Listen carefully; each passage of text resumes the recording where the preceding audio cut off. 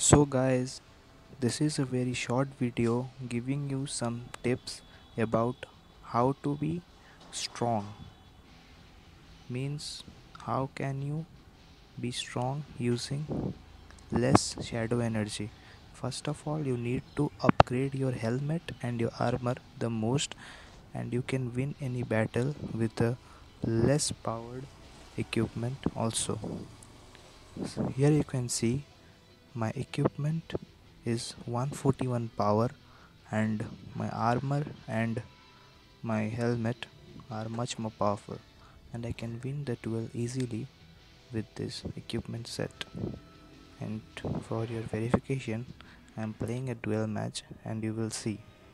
And if you like my channel please do subscribe for more such interesting tips and tricks on Shadow Fight 3 and also do comment on any other game so that I would make a video